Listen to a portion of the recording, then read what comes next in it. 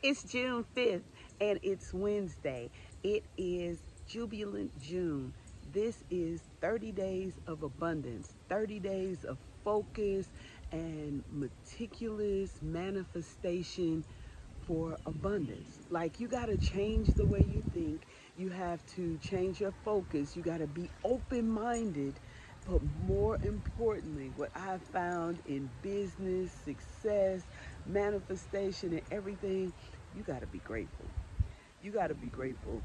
I wrote a book, 10 Things I Wish I Knew Before I Had My Business, 10 Things I Wish I Knew During My Business, and 10 Things I Wish I Knew Immediately Following the Business.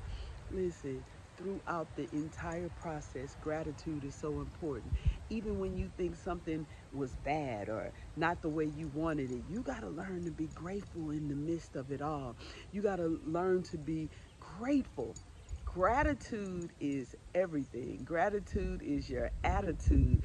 And the only way that June will be jubilant, you will see 30 days of abundance, or in 30 days of focus, see abundance is to be grateful. Be grateful for where you are. Be grateful for what you've lost. Be grateful for the pain. The pain tells you that something is wrong. When you have a headache, that means something is going on wrong in the body. You got to be grateful for it.